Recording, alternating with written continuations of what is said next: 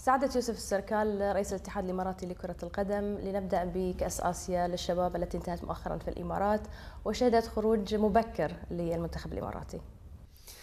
آه، بسم الله الرحمن الرحيم. الحقيقة يعني إحنا كنا حريصين أن نستضيف هذه آه، البطولة عندنا في دولة الإمارات.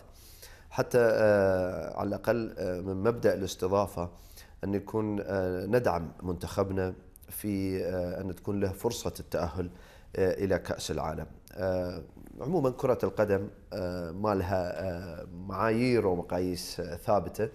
الفريق جيد قدم مباريات جيدة ما خسر ولا لقاء لكن ما فاز ولا في أي مباراة. خرجت غيرنا الصين، اليابان، ليس بالضرورة أنك أنت تكون أفضل الفرق حتى تفوز بالبطولة أو أنك حتى تتأهل.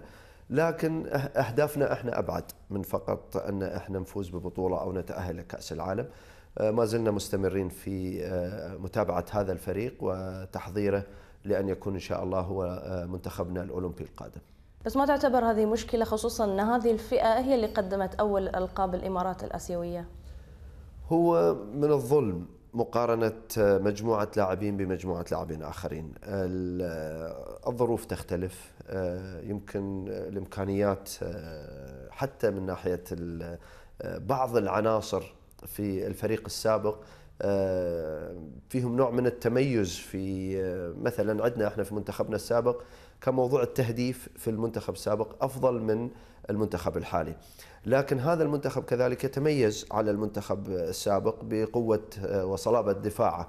فهذا مؤشر جيد بحد ذاته بأن هذه المجموعة بالإضافة إلى المجموعة السابقة بيكونوا منتخب آه، لمستقبل كرة القدم في الإمارات بيكون شيء آه، جيد يعني.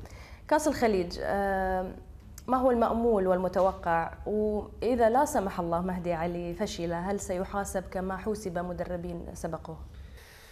أنا شخصيا ما أحب أن يكون تقييمي للمدرب من خلال آه، النتائج في المباريات. آه، التقييم للمدرب من خلال المتابعة، من خلال آه، اهتمامه، إمكانياته الفنية، قربه من اللاعبين، هذه كلها عناصر يعني تحسب لصالح المدرب. مهدي حقيقة يتميز في هذه الجوانب. آه، علاقاته باللاعبين بشكل آه، متميز آه، تحضيره الفني وبرامجه اللي يعد فيها المنتخبات إحنا عندنا قناعة بهذه البرامج وامكانياته كمدرب لإعداد برامج تأهيلية جيدة. عموما كاتحاد لكرة القدم وكمسؤول في اتحاد كرة القدم ما أعتقد بأن منتخبنا مؤهل ومهيئ في الوقت الحاضر للفوز ببطولة دورة الخليج وإحنا ما نضع أي آه، يعني نوع من الضغوط لا على اللاعبين ولا على الجهاز الفني بأن إحنا نطالبهم بالفوز، إحنا نطالبهم بأن يقدمون مباريات جيدة مستوى يليق بما قدموه آه، كلاعبين في الأولمبياد في لندن. من الأوفر حظا من من الدول المشاركة بلقب كأس الخليج؟ آه، أنا أعتقد أن من أميز الفرق حاليا في الخليج هم المنتخب العماني والمنتخب السعودي ما أبغى أستبعد المنتخب آه، البحريني كونه هو يستضيف البطولة ولكن الظروف اللي يمر فيها المنتخب البحريني يمكن ما تخدمه في الأشهر الماضية.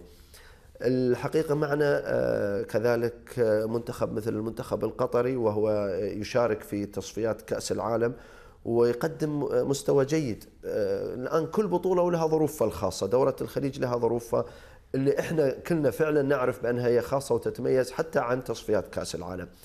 ولكن آه، أنا أعتقد البطولة لن تخرج عن آه، الأربعة. ولو أني في نفس الوقت حتى لا أرشح الكل دائما يفاجئنا المنتخب الكويتي. بعدم أن إحنا ما نرشحه ولا حتى نعطيه اهتمام وي هو في النهاية ويفوز بالبطولة. متى ممكن نقول إن مهدي علي وصل للنهاية؟ هو في البداية حاليا حرام أن نقول وصل للنهاية، لا هو في بداية عطائه هو آه، أعطى على مستوى منتخب الشباب وبنتائج جيدة آه، أعطى على مستوى منتخب الأولمبي وكذلك بنتائج الحمد لله جيدة آه، اليوم بدايته آه، أن يعطي آه، بالنسبة للمنتخب الأول. أنا كان لي حديث مع مهدي يمكن قبل خمس أو ست سنوات. وقلت له وهذيك الأيام أنا كنت برا اتحاد الكرة. قلت له يا مهدي لا تستعجل الفرصة بأنك أنت تدرب المنتخب الأول في الأيام هذه اصبر الفرصة بتيك. يعني أنا أتمنى أن مهدي يتذكر هذا الحديث وأن الفرصة فعلا يته. ومو بأنه هو يعني أن إحنا مهدي ما قدمناه كمدرب للمنتخب لكونه مواطن لا هو فرض نفسه بأن يأخذ آه هذه المسؤولية من النتائج اللي قدمها على مستوى المنتخبات اللي دربها فبالتالي هو آه في بداية مشواره ونتمنى إن شاء الله أنه يعطي آه لسنوات قادمة وتكون نتائج إيجابية ترضي الكل. إن شاء الله بس شنو هي الخطة اللي موجودة لديكم في الاتحاد لتطوير مدربين المواطنين؟ إحنا اولا نعتمد في كل منتخباتنا على المدرب المواطن.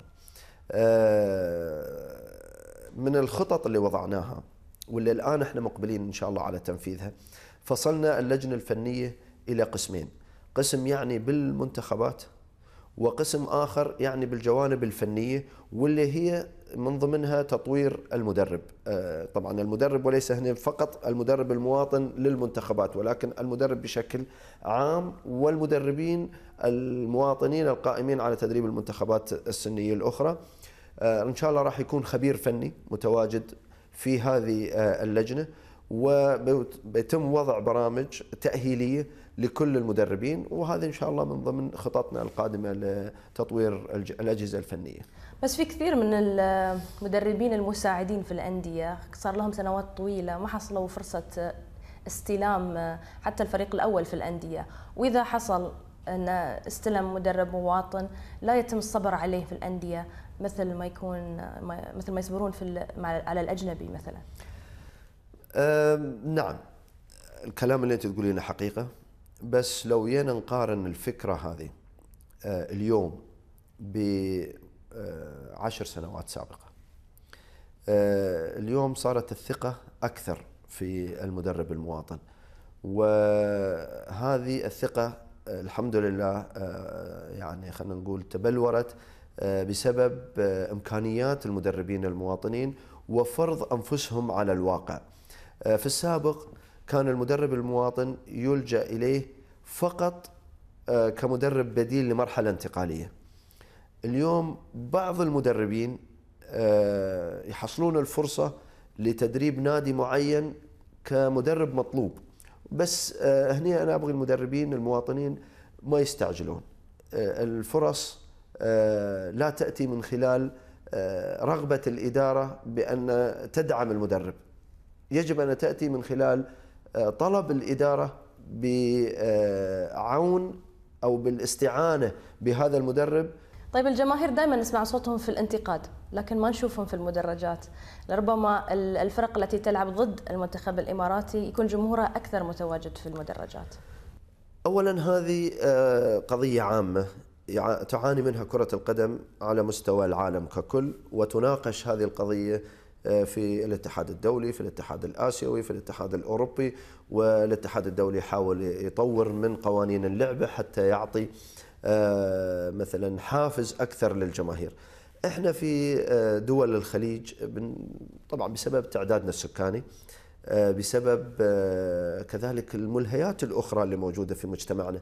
الجو نفسه يعني غير مساعد. يا أما حر حر يا أما برد برد. يعني وكل هذه الظروف ما تساعد أن الفرد يكون متحفز للحضور للملعب.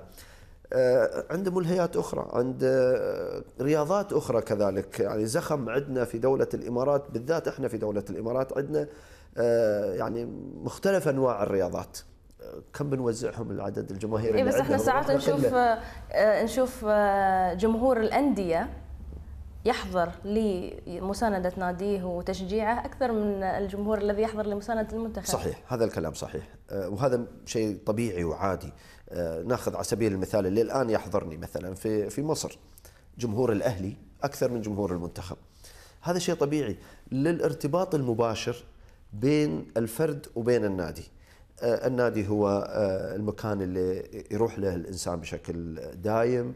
النادي المباريات مستمرة التنافس بين النادي هذا والنادي الآخر والتنافس بين جمهور هذا النادي والجمهور الآخر يخلي الجمهور دائما متحفز.